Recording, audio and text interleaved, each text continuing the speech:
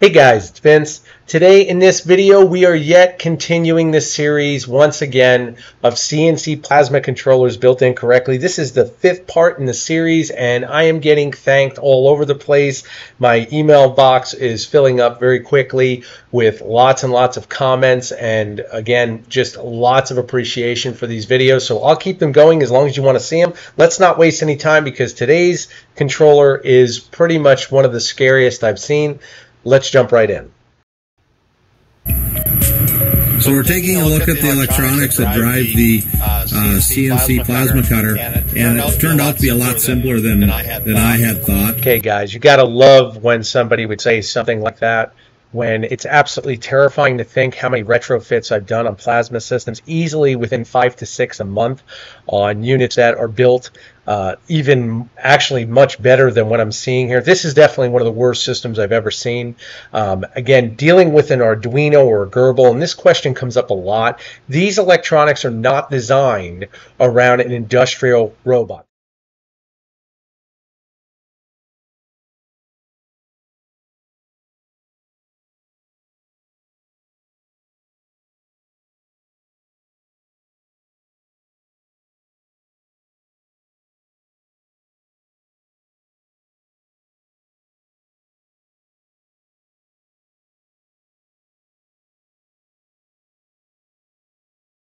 They were never intended for this use.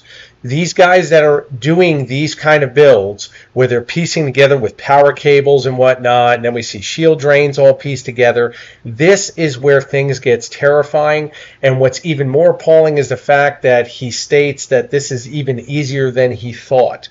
My curiosity, like many of you, is, and I've said this before, what is the length of time this machine is run to dictate stability? Let's let's listen to him talk.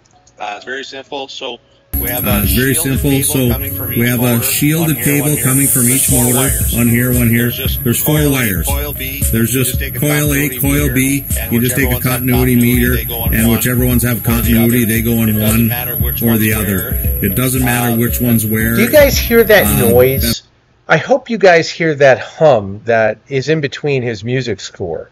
Let me play it again and listen carefully. Calls just as long as each just as long as each there is separate. That so is electrical noise, motor. guys. So just so you guys all are aware, if you can hear the electrical noise, imagine what's being radiated around this controller. Now, the other thing is, this is a metal enclosure. We can see that here. So he does have that part correct. What he failed to do correctly is, of course, look at this controller and say that does it really make sense for me to plug this in in the fact that the back of this board is all solder connections if god forbid it makes contact it could short out immediately but no he was in a rush like many of them are, to show you how great their work is as far as getting it to work. And when I say getting it to work, let's talk about that. He's got all of this wiring, what he feels is done, being that it's connected and things are functioning to the best of his knowledge. What he fails to realize is it's not connecting wires, and I've said this before in previous videos, it's not just connecting the wires from point A to B, it's making sure the system functions as it should. That is what most of these guys do, and he'll continue to go on with his explanation about how he hooked everything up because he's trying to delegate a sense of knowledge. Uh, we have a orange um, we have an orange and a green wire that come from the power supply and to give 24 volt power. So we have two drivers, so they're each wired the same on this part of it. And then we have 5 volt power coming from the Arduino.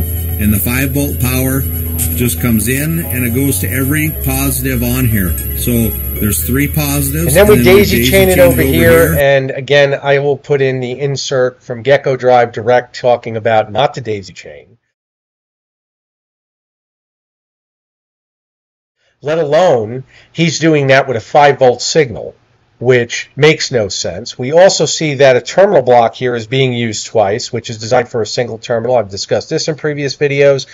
This individual does not even understand how to use a terminal block, guys.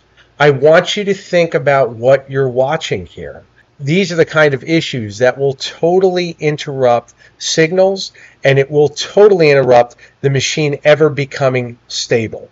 And then these are the same people I love. These are usually the same guys that'll come to me and be all pissed off when they get told how much it costs to do the system correctly and how much work is involved. Because I can't tell you enough how many guys come back and say, you know, your price is outrageous or this just seems so high. And then they go and do the homework and they find out why it's outrageous. First of all, you're using the incorrect cables. Nothing in here is grounded. We haven't even seen the full build here, but let's just rest assured it most likely, judging from the rest of this build, will not be done correctly. This person is literally showing you how he hooked everything up, in essence, incorrectly. And three more positives on the schematic. And three more positives on the schematic on the, the on the drawing. As far as the function of the machine, it's all coming from these four sets of wires. from the Arduino. I want here, you guys to do me a favor. Four sets of wires. Don't believe anything I'm saying on this. I want you to go and look up where Arduinos are the recommended controller for plasma controllers. See if you find an application for that anywhere.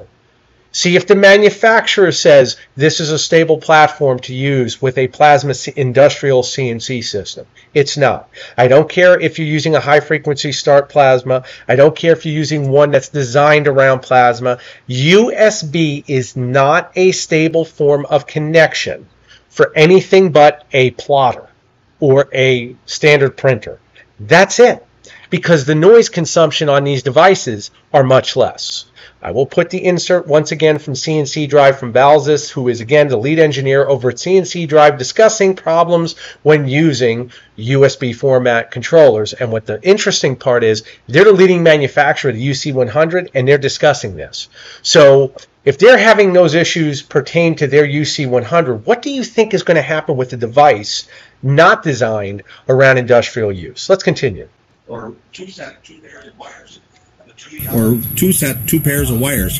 The two yellows come up here to the negative uh, direction and pull, and we used a yellow and a yellow red, and then on this side we used an orange and an orange blue that come up to this side. So that's all there is. So there's only four wires uh, driving the directions of the stepper motors. And the yellow are in holes two and five, and the orange are in holes three and I six. love the And we'll put a schematic schematic to this down there. And this is where, once again, they believe that they figured it out. You know, this is the holy grail for hookup. This is what you guys can use to go and wire a system. And many guys, many on his channel, have gone in. They comment and tell them, "Oh, you're doing great. I love what I see. You're this is amazing. I'm doing similar things." And the scariest part of all is they're essentially congratulating him on doing things incorrectly. And unfortunately, guys, that's the truth. That's what we see online. When I see things like this, where a guy built a wiring schematic, that is where it ends in congratulations. You built a wiring schematic. This is where you get general functionality. You do not, once again, attain a stable system without proper grounding, proper cabling, and understanding all of the theories that are driven around that. If you think you can just simply wire a controller up and you've got a perfect system, all I ask you to do is go on CNC Zone Forum and all the other CNC forums and review why so many people are posting. Because obviously, are we all to believe that they haven't hooked their electronics up correctly? Is that what it is? Or is there other build variables that are not being focused on that cause issues? Do the math on that, and I'd love to hear your comments in the comments section. And then this blue wire comes And then this blue wire comes to the 5 volt output on the Ardu- output on the Arduino. A very simple wiring, and then we just hooked up the power. I love when they supply. always show you. I just hooked Uh, up the power supply neutral. just to basically show it to you. You would never hook up a power supply. I hope none of you would, where we don't actually have an IEC power port or some other type of port junction so that it would have a pass through safely from the enclosure to the rear of the power supply for input. This is something I see done all the time. And once again, if they can film cheap content, that's what they do. He thinks because he's on his build table, it's easier to show you guys, hey, look at what I did. I've achieved this. Unfortunately, he's achieved nothing. Absolutely nothing. You guys will see it in the documentation. Once again, Lincoln Electric, we'll go through a couple pages. I'll show you exactly where we're at. And without a doubt, I'll state it one more time. This is one of the worst controller formats I've ever seen. I'm really curious if the unit actually is stable at all when it's actually cutting. And what's really appalling, and I've actually cut it from the video, is the fact that most of the chassis even that he built he used his 3D printer to make most of the carriage pieces. So just think about that. Where are we going with this? Where are we going to stop this idiocracy where we just sit there and go through just assembling, screwing components into place and saying it's done? Because that's essentially what we have here. I don't build radios. You most likely don't build radios. I'm not going to try to take over for Bose. That's just how I think.